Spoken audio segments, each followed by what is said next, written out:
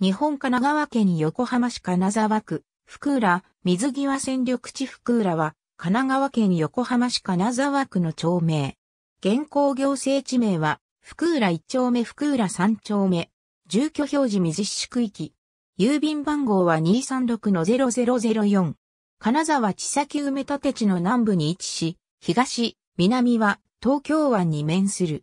北は幸浦、西は並木及び芝町に接する。北側の一丁目から南側の三丁目までが置かれる。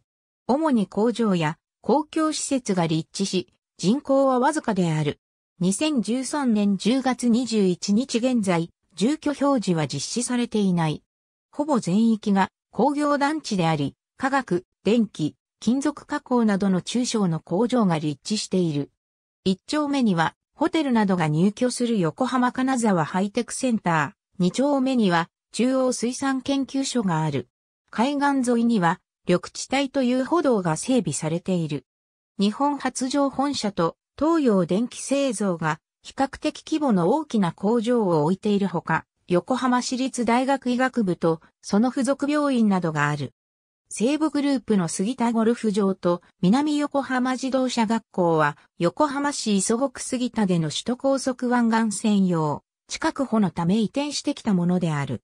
南東の角には横浜市消防局が管理する横浜ヘリポートがある。